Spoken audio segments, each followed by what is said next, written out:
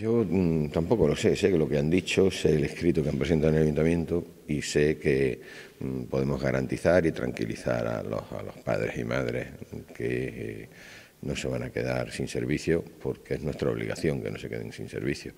Lo otro, pues es que un problema que viene de hace muchísimos años, pero bueno, trataremos de resolverlo, igual que hemos resuelto el de Urbaser y que al final, bueno, recuerde la gente que llevamos aquí siete, ocho meses, hemos resuelto ese tema eh, y les puedo asegurar que este también lo vamos a resolver.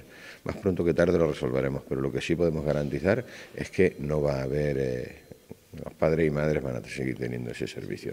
Bueno, eso ya será un problema que tendremos que ver a posteriori cuando solucionemos que eh, los padres y madres sigan teniendo ese servicio.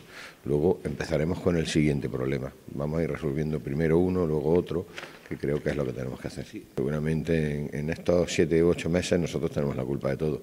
La realidad es que estamos intentando resolver todos los problemas que tenemos y está muy bien que el Partido Socialista diga eso. Bueno, supongo que los ciudadanos valorarán desde cuándo vienen los problemas y quién los está resolviendo.